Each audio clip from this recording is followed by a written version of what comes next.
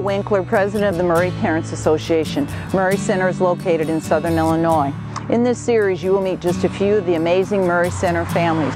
You will hear about their struggles and triumphs and hopefully gain an understanding of why Murray Center is so critical, not just for these families and their loved ones, but for the entire community.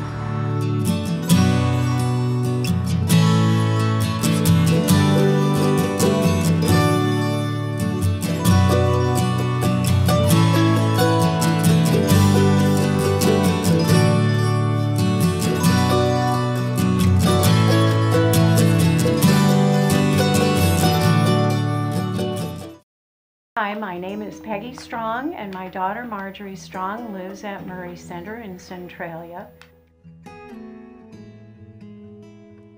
She's been there now three and a half years. Three and a half years ago, uh, Marjorie had over 30 diagnoses. She lived in a CILA. Since she was medically fragile, uh, over the past four years, she had little or no opportunity to actually move. She was basically living on a couch. She was actually dying on a couch. For those four years, I trained a CILA staff uh, who had no medical background. I managed all of her prescriptions and therapies. Um, in fact, the uh, fill-in staff had put Marjorie in the hospital twice because they didn't read her care manual and I didn't have a chance to talk to him. They just weren't set up to take care of somebody with complex medical uh, problems. And uh, so there was little to no oversight. And her family doctor said she was in a systemic decline, everything was failing. I needed to uh, make some decisions about DNRs, feeding tubes. Um, I got hospice on standby, and uh, I basically needed to find a safe place for Marjorie to leave this world in peace and out of pain, where she could be safe uh, from any aggressive behaviors because disabled people don't often realize that they're harming somebody. Well, when Marjorie came to Murray Center, she had not had a drink of liquid in three years. We had to take all her liquids and add Thick-It and make it to a pudding consistency, or she would aspirate it directly into her lungs. She had to have, we had to count on a little timer for her to have 15 to 20 seconds per bite and we had to watch to see that the food went down properly or she would aspirate. Um, she had renal, failure. she was in stage four kidney disease, renal failure. She had an ulcer the size of a silver dollar. It was 30 millimeters across. No food was passing from her stomach to her lower intestine. She had impacted bowels. She had a paralyzed ileus, which is part of the lower intestine. Um, she had terrible pulmonary circulation in her legs to the point where her legs turned the color of Welch's purple grape juice. Uh, and that was a lot of from sitting on a couch constantly too. Now that she could get up and move around and walk, some of that went away. Um, every system, her lungs were scarred from all the pneumonia that she had from uh, having food aspirated into her lungs. It was a short period of time. It was probably within a two or three month period of time. We took her over to the hospital and we ran the test, the swallow study, to see what consistency of food or liquid could she get into her stomach without aspirating. And when the speech pathologist said, well, she can swallow liquids, we just watched on the x-ray, and I said, that can't be right. It's been three years that this poor child has not had a drink. And I said, you'll run the test again. And sure enough, they ran the test again and she did fine. So that's how profound the level of care at Murray and the, and the staff individualization for her has made, it made a huge difference right away. And the fact that all of these many, many uh, complex medical situations which were all colliding with each other. All the medications were conflicting sometimes.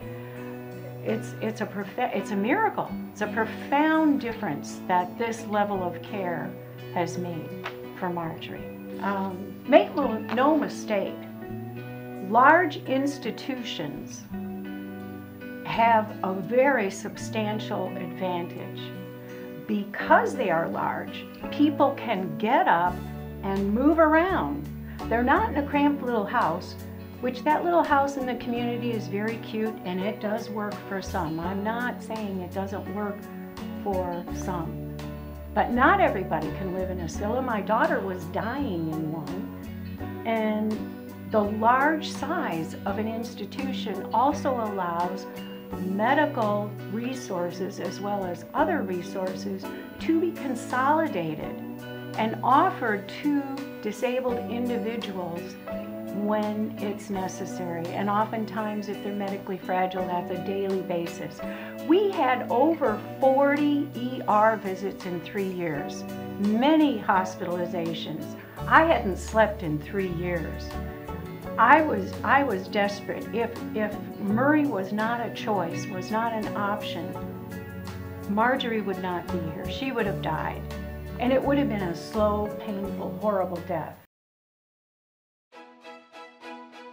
Well, she rides her bike.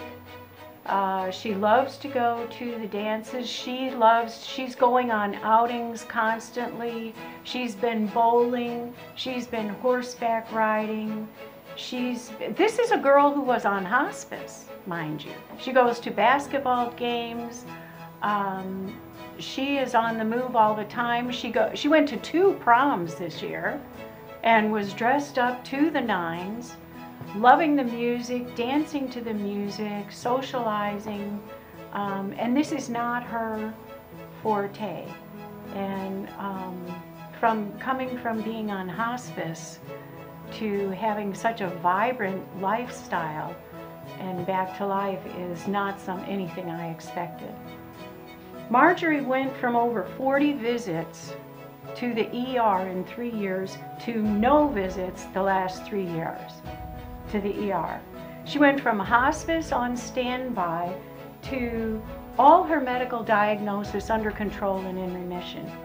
She went from dying in pain with over 30 diagnoses living on a couch in a cramped little house to walking around freely in big, large hallways, out of pain, and she's smiling again.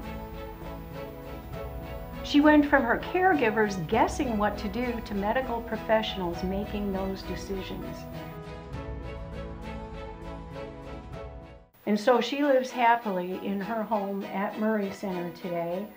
Um, and it's because of Murray Center that Marjorie is even alive. There's an ongoing constant demand for large facilities like Murray Center. We have constant people coming in and needing the care of Murray Center, and we've had constant admissions over the past three years since Marjorie has come there. Um, it's also close enough where I can maintain contact with her. The next medical facility of similar choice would have maybe been all the way up to Chicago, six, seven hours away from me. And every other population has a continuum of care. The cognitively disabled people deserve a continuum of care also. See, I have a continuum of care depending on if I have to rehab from surgery or uh, some sort of other disability, if I have a knee replacement, I have a continuum of care as a senior citizen. Why shouldn't the disabled have a continuum of care? There's not just one place.